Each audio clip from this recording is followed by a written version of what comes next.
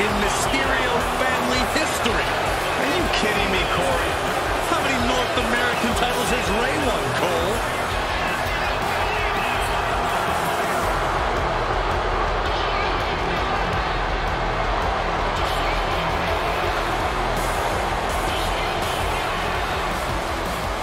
The following is scheduled for one fall, making his way to the ring, representing the Judgment Day.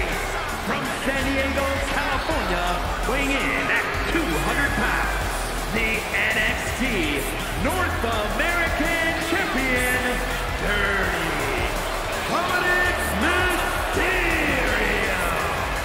It is truly inspiring to see a hardened criminal reformed and shining on the grandest stage of them all. Oh, that's just ridiculous. But Dominik has quite a bit of WrestleMania experience at such a young age. King with his father in his very first WrestleMania match competed against his father one year later. Major moments for sure, but he has still yet to earn a big